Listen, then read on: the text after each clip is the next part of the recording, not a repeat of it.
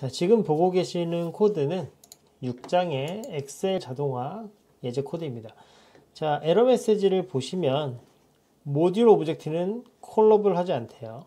그쵸? 이런 에러 메시지가 나옵니다. 자, 아주 단순한 실수인데 사실 이렇게 어, 에러가 난 것처럼 보여지지 않기 때문에 찾기가 사실 어렵죠.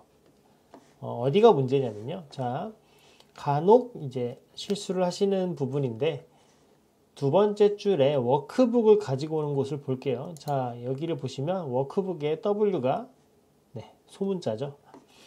자, 우리가 사용하는 워크북 클래스 같은 경우에는 꼭 대문자를 써줘야 예, 그 클래스를 가지고 올 수 있습니다.